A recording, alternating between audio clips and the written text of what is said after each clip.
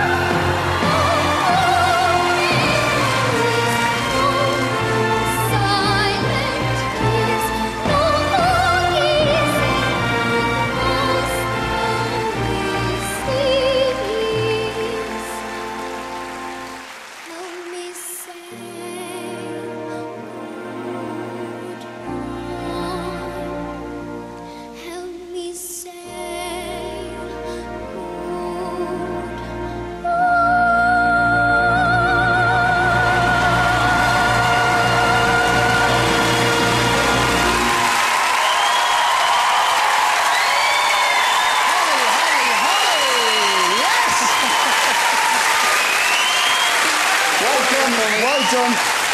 Well, what about that? And no tears tonight. You look like you really enjoyed that. Yeah, Did you? please, Yeah. Now, you were here last night i- i- in the semi-final, and it was a, it was a big night for you. What, what, how did that feel in comparison to last night? Um, I was much more like not nervous, and it made me feel better. Really? Yeah, you Yeah. did. You looked really relaxed. Really, you've been really enjoying yourself today. Yeah. And, and I think it really did show. Well done. Let's see. Uh, let's see what the judges made of it. Piers, let's start with you. Well, the trouble is, Hollie, you've made half the audience cry tonight. so that was that was great. And what I loved about it was you know, everyone was looking to see how you were going to respond today. You know, were you going to come and and fall again? You know, and stop singing and be nervous. But look at you. You came and you just sang absolutely beautifully. You had nerveless performance from start to finish. You looked confident. You looked like a little star. And I thought it was wonderful. Thanks, Piers. Amanda?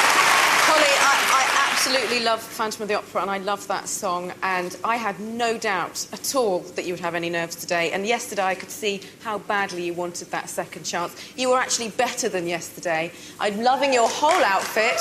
You look beautiful, darling. Congratulations. Thank you.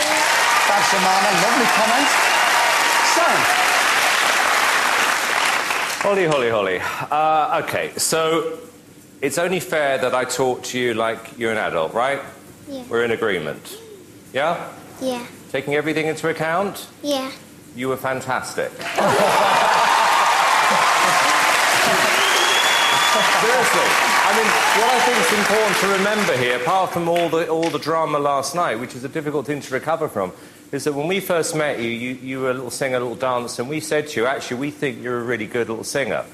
And that's what you, you remind us of tonight, is that you chose a really, really tough song.